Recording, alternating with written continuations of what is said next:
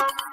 E aí galera, tudo bem com vocês? Vamos aí para mais um giro de notícias sobre o Cruzeiro com questões importantes que têm movimentado o ambiente do nosso clube. Meu nome é Emerson Araújo, esse é o canal 6x1 e desde o início eu peço para você deixar o like no vídeo, se inscrever no canal caso ainda não seja inscrito e usar os comentários para deixar a sua opinião sobre cada um dos assuntos que vamos abordar. Sempre lembrando que esse vídeo é feito com patrocínio do OneFootball, que é um aplicativo muito completo, tem tudo que envolve esse universo do futebol e nessa temporada especificamente está transmitindo uma série de campeonatos europeus com destaque para a Bundesliga. Para assistir aos jogos do campeonato alemão, você só precisa baixar o app pelo link da descrição, ir na aba Jogos, depois na aba Assista. Aí é só escolher o jogo que você quer ver sem precisar incluir cartão de crédito nem nada. O OneFootball é um aplicativo totalmente gratuito, está disponível tanto para Android quanto para iOS e o link para você baixá-lo está aqui na descrição desse vídeo. O Cruzeiro segue nessa quinta-feira a preparação para o próximo duelo na Série B. No sábado a gente encara a Chapecoense lá na Arena Condá, Chape que é um dos poucos times nessa Série B que ainda está invicta e tem apenas um ponto a mais que o Cruzeiro na classificação, o que faz da partida um confronto direto. A gente acabou saindo do G4 com o complemento dos jogos da rodada e estamos em quinto lugar. Mas caso a gente traga os três pontos da Arena Condá, ultrapassaremos a Chape e voltamos ao grupo de acesso. E como é bom a gente poder postar um recorte aí da tabela da Série B, né, sem pegar os 20 times, estando o Cruzeiro na parte de cima da classificação, né, na parte mais nobre entre aqueles que brigam de fato pelo acesso. É claro, foram apenas quatro rodadas, não dá para tirar nenhum prognóstico com uma amostra tão pequena de campeonato, mas é importante que a gente começou na parte alta, até para a gente não rememorar fantasmas de temporadas anteriores. O Cruzeiro precisa sempre estar na briga entre os quatro e, de preferência, na briga pela liderança, porque eu gostaria muito que a gente fosse campeão desse trem para superar de uma vez por todas essa Série B. Ainda não foi divulgada a lista de relacionados para o jogo contra a Chapecoense, mas uma possível novidade é o atacante Rafa Silva. Ele já estava treinando no clube há mais de um mês, mas agora foi oficializado e teve o nome publicado no BID. É mais uma opção para o ataque e é um jogador que em algum momento da carreira fez muito gol, né? E isso é um aspecto importante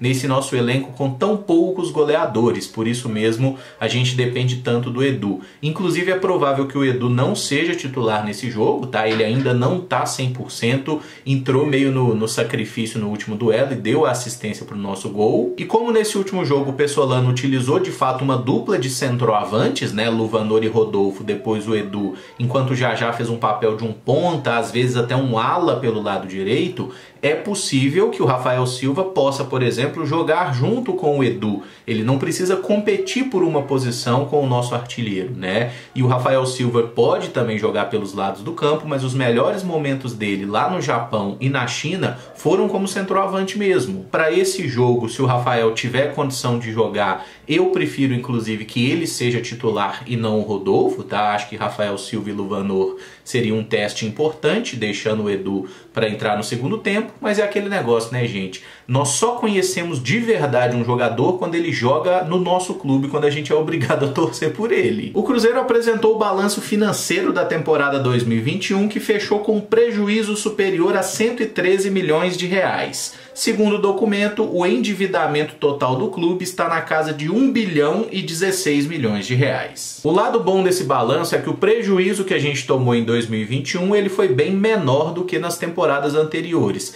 Em 2020 esse prejuízo foi basicamente o dobro, né, algo na casa de 226 milhões, e em 2019, que foi o ano ali master, né, da era Wagner e Tair, o nosso prejuízo ficou na casa de 400 milhões de reais. Então, para quem é muito otimista, vai dizer que o negócio está melhorando, né? Porque o buraco continua aumentando, mas ele não está aumentando exponencialmente como estava. Ele está aumentando de uma forma mais reduzida. Mas, gente, assim, a gestão do Sérgio realmente foi um desastre em qualquer aspecto que a gente puder analisar, tá? Não conseguiu reduzir o grau de endividamento como a gente esperava e a cada ano a dívida do Cruzeiro, infelizmente, está maior. E nesse caso a gente tem que falar é do Sérgio mesmo, não é do Ronaldo e da equipe dele, porque a compra do Cruzeiro pelo Ronaldo ela foi anunciada no dia 18 de dezembro. Então as medidas que eles tomaram ali no final de ano, né, como por exemplo não confirmar algumas contratações, só teriam valor prático a partir de janeiro de 2022. E esse balanço efetivamente ele só compreende o período até dezembro de 2021, tá? Então a carinha que tem que aparecer nesse prejuízo aí é a do Sérgio sim. E sobre os resultados financeiros da gestão aí da equipe do Ronaldo, nós só saberemos realmente se a galera divulgar balancetes, como por exemplo podem ser divulgados balancetes trimestrais, né, sobre o exercício, sobre a saúde financeira do clube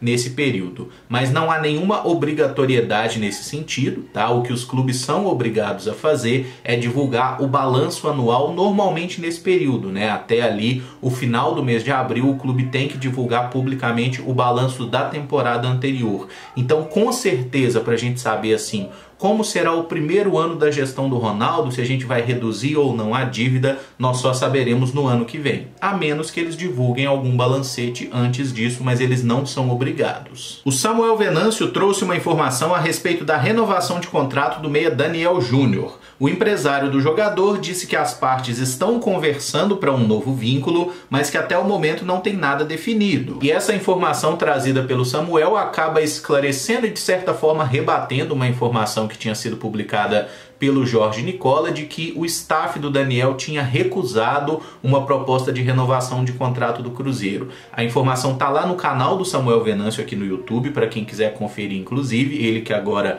está de volta com força total ao YouTube, né, desligado da Rádio Tatiaia e fazendo um ótimo trabalho, mas tem lá o empresário do Daniel Júnior falando, tá, o áudio dele dizendo que as partes estão conversando, que não tem nada de proposta recusada, de martelo batido, está havendo sim uma negociação, um plano de carreira e é possível que o Daniel continue no Cruzeiro. Atualmente, o contrato dele com o nosso clube vai até dezembro do ano que vem, mas ele tem um salário baixo e, consequentemente, uma multa baixa. E o diretor de futebol do Cruzeiro, Pedro Martins, que o empresário do Daniel cita, inclusive, que eles têm uma relação boa, é quem está tocando essa renovação para proteger o clube de não acontecer aquilo que aconteceu no caso do, do Vitor Roque. Né? Então, tomara que as partes sentem, cheguem num acordo legal, que fique fique bom para todo mundo, né? E para que a gente possa utilizar o Daniel, que depois daquela estreia ruim que ele perde um gol feito contra o Bahia, ele entrou muito bem nos dois últimos jogos. Essa última partida achei que ele encebou demais na hora ali da tomada de decisão, ele poderia ter feito algo um pouco mais assertivo para a gente matar o jogo, mas ele entrou muito bem no jogo, movimentou, chutou bola na trave, é um moleque de muito talento e se a gente puder mantê-lo aqui vai ser muito bom. E só para fazer uma vírgula, saíram aí duas notícias, uma a respeito de um empresário que atualmente não agencia nenhum jogador do Cruzeiro, que é persona non grata no clube e foi um dos responsáveis pela saída do Vitor Roque do nosso clube, tá? Esse camarada falando do Cruzeiro quer processar, não quer? Dane-se, ele não tem mais relevância na nossa vida, ele não é agente de nenhum atleta do Cruzeiro. E com relação a um certo meia que teve bons momentos, né, em Copa do Brasil, fazendo gol em final e tudo mais, e em 2019 foi um, né, da, dos integrantes daquela panelinha que nos rebaixou na sacanagem, esse cara ficar falando de grandeza do clube, ficar falando disso, daquilo que torce pra gente ou deixa de torcer, irmão, você vai me desculpar, cuida da sua vida, não enche o saco e para de querer aparecer em cima do Cruzeiro, porque o que você tinha que fazer, que era jogar bola, você não fez, então agora some da nossa vida. Mas voltando ao que importa, o Dr. Sérgio Campolina atualizou nesta quinta-feira a situação de dois atletas no departamento médico.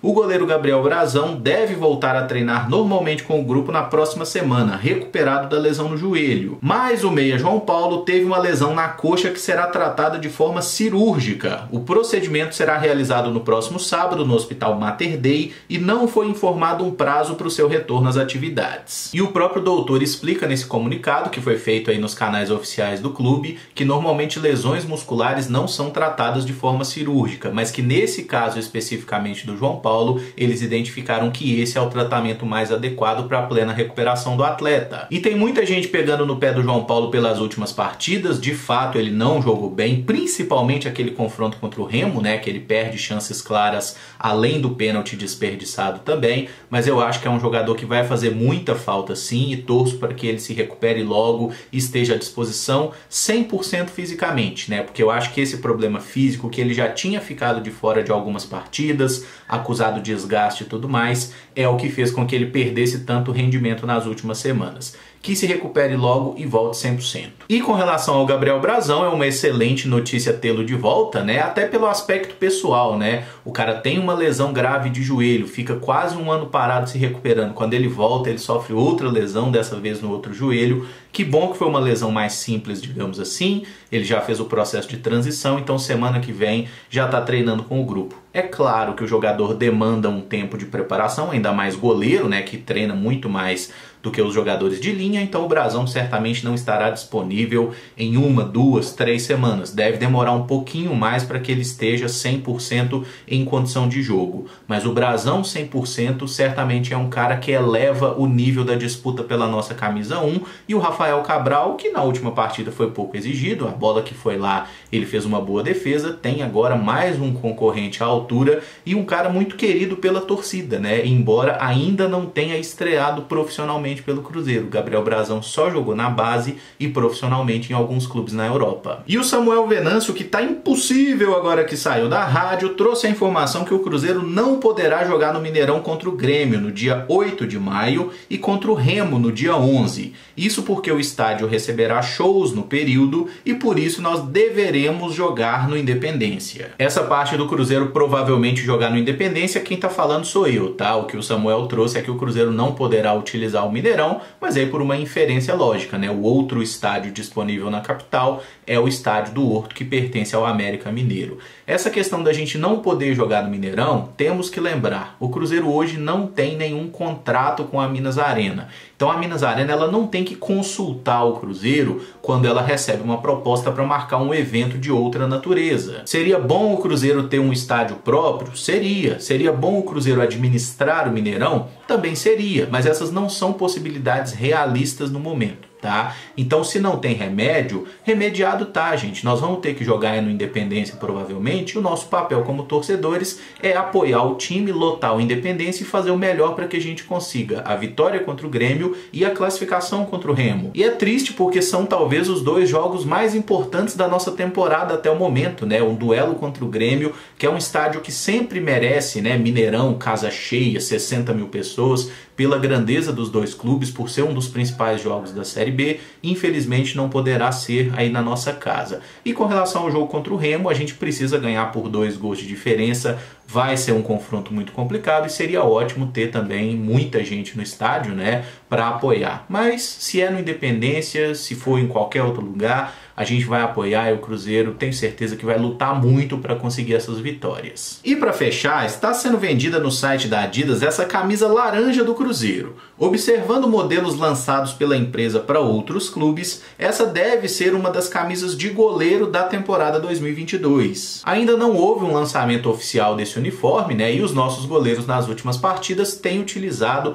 os uniformes da temporada 2021, né? Aquela camisa vermelha melancia, aquela azul clarinha ah, uniformes que o Fábio não usava e ninguém entendia muito bem por quê. Mas essa camisa brotou sendo vendida lá no site da Adidas por um preço bizarro de 300 reais, inclusive, tá? E contrariando a lógica, eu achei a camisa bonita, sim, e se ela não tivesse esse preço pornográfico, compraria e usaria muito satisfeito. A gente não pode esquecer que camisa de goleiro obrigatoriamente tem que ser muito diferente da camisa dos jogadores de linha, né? Não apenas do nosso clube, mas dos adversários também. Até por isso é muito comum que eles utilizem aí cores mais chamativas, uniformes assim mais alternativos. E eu particularmente gosto disso, não vejo nenhum problema. Só espero que façam também, mesmo que seja nesse modelo aí com essas figuras geométricas, uma camisa amarela, né, para respeitar a história do Cruzeiro, a figura do Raul, que o Dida usou, que o Fábio usou e tudo mais. imagino que pode rolar também a camisa amarela, porque normalmente eles não fazem só um uniforme para o goleiro, né? Eles fazem dois ou três uniformes diferentes, de cores bem diferentes, justamente para não ter nenhum problema. Só essa que foi revelada até o momento e deixa aí nos comentários o que, que você achou dessa camisa laranjona, assim como os outros temas que a gente abordou aqui. Também não esquece de deixar o like no vídeo e se inscrever no canal caso ainda não seja inscrito. Muito obrigado por acompanhar, um abraço e até o próximo vídeo. Valeu!